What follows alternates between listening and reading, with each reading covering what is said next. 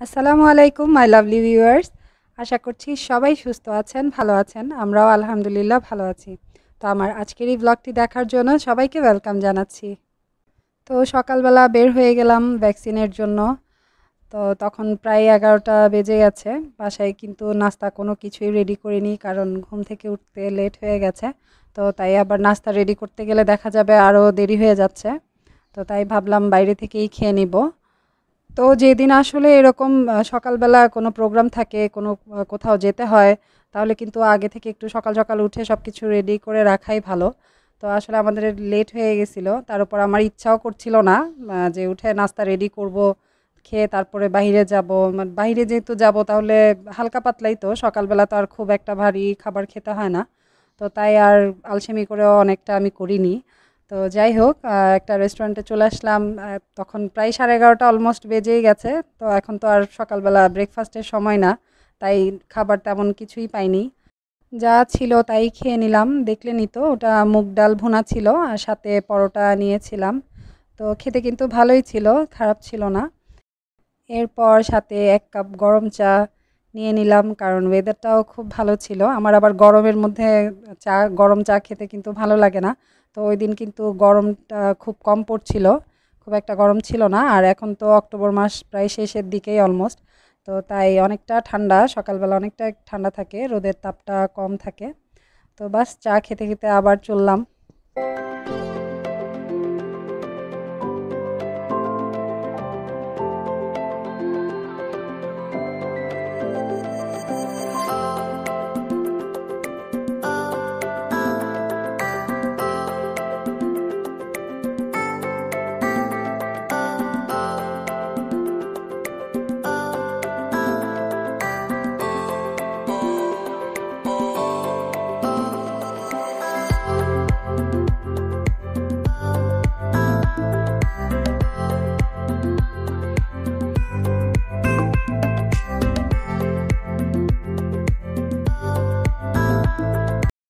যেতে যেতে মাঝপথে সামাইরা বায়না ধরলো, সামনের সিটে বসবে।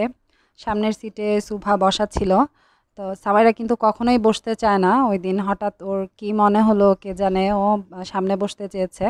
তো তাই ওর বাবা আর ওকে না করল না। তো এক পাশে গাড়ি থামিয়ে ওকে সামনে নিয়ে নিল। ও যেহেতু পেছনের সিটে বসে, দেখা যায় ওর সাথে আমাকেই বসতে হয়। কারণ ও আবার সুভার সাথে পেছনের সিটে বসতে চাইবে না। তো যাই হোক, এরপর দেখছিলাম যে একটা প্লেন যাচ্ছিল। তো প্লেনটা কিন্তু খুবই একদম নিচে ছিল দেখে বুঝতে পাচ্ছেন। মনে হচ্ছিল বিল্ডিংটা যদি আরেকটু উঁচু হতো, হাত দিয়ে যেন প্লেনটা ধরা যেত। তো আসলে এরকম যখনই প্লেন দেখি, তখনই মনে হয় যে আবারও কখন যাব বাংলাদেশে। তো আমার মনে হয় আমরা যারা প্রবাসীরা আছি, যখনই এরকম প্লেন দেখি, তখনই আমাদের মধ্যে একটা ফিলিংস হয়। যে আবারও কখন সেই সময়টা আসবে, যখন এইভাবে প্লেনে চড়ে আবারও বাংলাদেশে যাব। তো এই আর কি, কথা বলতে বলতে এই যে চলে আসলাম, আজকে কিন্তু ভিড় খুবই কম ছিল, খুব একটা ভিড় ছিল না, খুবই নিরিবিলি ছিল।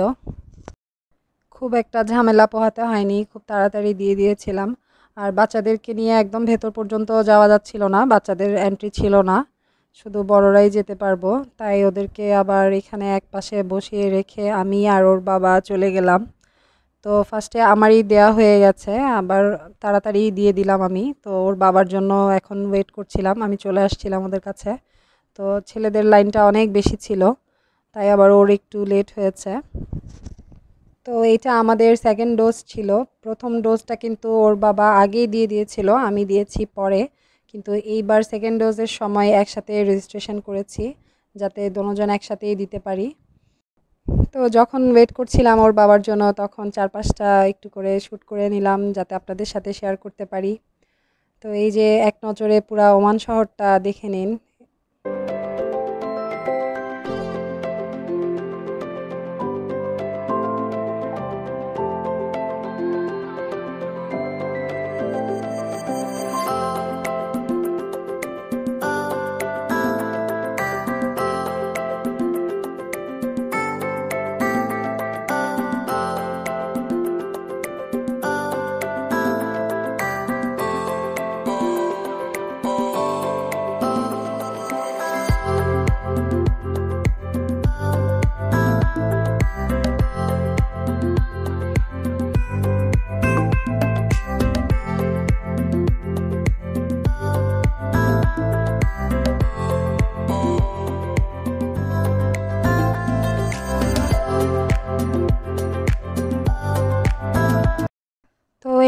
ওর বাবারও দেয়া শেষ হয়ে গেল আর আমরা আইসক্রিম খেতে খেতে চলে আসলাম। তো বাইরে থেকে দুপুরের খাবার কিছুই নেই নেই, কারণ বাসায় রান্না করা ছিল হালকা পাতলা, তো ভাবলাম সেটা দিয়েই কিছু একটা করে নিব। আর আমাদের তো ভাত খেতেই হবে, আমরা যেহেতু বাঙালি, ভাত ছাড়া তো আমাদের চলবেই না। আর দুপুরবেলা বলে কথা। তো এই যে বিরিয়ানিটা শেয়ার করছি আপনাদের সাথে, আমি তেল দিয়ে নিয়েছি, তারপর আলু ভেজে নিচ্ছি। সামান্য একটু লবণ দিয়ে আলু ভেজে নিচ্ছি। তো বিরিয়ানিতে কিন্তু আমার কাছে আলুটা খুবই ভালো লাগে। তো এরপর বেশি করে পেঁয়াজ দিয়েছি, তারপর এলাচ, দারচিনি, গোটা গরম মশলা যা দিতে হয় আর কি সব কিছুই দিয়ে দিলাম। তো আসলে ডিটেলসে বলা কারণ হচ্ছে মূলত যারা নতুন রাঁধুনি আছেন দেখছেন, তো ওদের জন্যই আসলে অনেক কিছুই মাঝে মাঝে মন চাই সব কিছুই ডিটেলসে বলি। তো এই আর কি, আর যারা পারেন তারা তো অবশ্যই পারফেক্টলিভাবেই পারেন। তো যাই হোক, এরপর পেঁয়াজটা হালকা ভাজা হয়ে যাওয়ার পর চাল দিয়ে আমি ভেজে নিয়েছি, আলুটাও দিয়ে দিলাম, চালটাও ভেজে নিয়েছি। আর এগুলো আগের দিনের মুরগির মাংস রান্না করা ছিল। তো ভাবলাম এগুলো দিয়েই বিরিয়ানি রান্না করে ফেলি। তো এই যে এরপর মাংসগুলো দিয়ে দিলাম। এখন সবগুলোকে ভালোভাবে মিক্স করে আরেকটু ভেজে নিব। আর পানির পরিমাণটা তো সবারই কম বেশি জানা আছে। যতটুকু চাল, তার থেকে ডাবল পানি দিতে হয়। আর যদি দুধ ইউজ করি, তাহলে পানিটা একটু কম দিয়ে তারপর দুধটা ওইভাবে দিতে হয়। তো এরপর আমি স্বাদ অনুযায়ী লবণ দিয়ে দিয়েছি। লবণটা খুবই কম দিয়েছি, কারণ মাংসতে তো যথেষ্ট পরিমাণ লবণ কিন্তু দেয়াই ছিল। তো এরপর আমি গোটা কাঁচামরিচ দিয়ে দিয়েছি। বাস এই তো আর কিছুই দিব না। খুব সহজভাবে এইভাবে আসলে রান্না করে নেওয়া যায়। যদি যে কোনো মাংস, গরুর মাংস থাকুক বা খাসির মাংস হোক, থাকলে এইভাবে খুব সহজে কিন্তু বানিয়ে খেতে পারেন। খেতে কিন্তু খুবই মজা হয়েছিল। তো সাথে আমি ডিম সিদ্ধ করে নিয়েছিলাম। তো এই যে আমার হেল্পিং হ্যান্ড চলে আসছে। আমাকে সাহায্য করতে। তো ওই বলছিল ও ছিলবে। তো ছিলতে যেহেতু চাইছিল, তো দিলাম একটা। বললাম, করো, অসুবিধা নেই। তো এই যে দেখেন, খুব সুন্দর করেই কিন্তু ছিলেছে মাশাল্লাহ বিরিয়ানিটা নামানোর সময় একটু গোলাপ জল বা কেওড়া জল দিয়ে নিতে পারেন। আমি আবার ওই দিন কিছু ইউজ করিনি।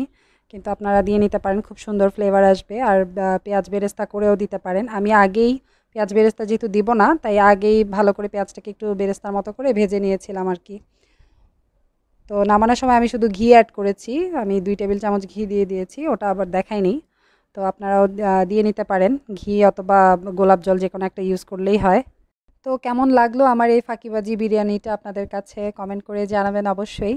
তো আসলে খুব সহজে কিন্তু এভাবে করে নেওয়া যায় আর কি, ফাঁকিবাজি টাইপসের আপনারাও করে খেতে পারেন, যারা কখনো এইভাবে করেননি।